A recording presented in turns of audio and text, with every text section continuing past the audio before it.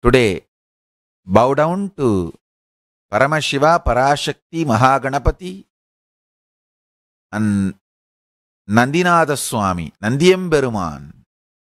Nandi is Lord of Kailasa, Kailasa's security. Of course, Paramashiva is the ultimate Lord. Nandi is the greatest servant of Paramashiva and only with Nandi's permission we can enter into Kailasa. So Nandi Natha Peruman, Nandi Emperuman is the Lord of Kailasa. Pray to Nandi. Nandi can give you the glimpse of Kailasa.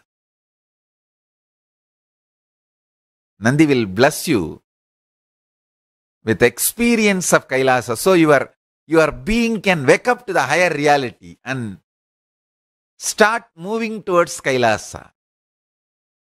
Each powerful cognition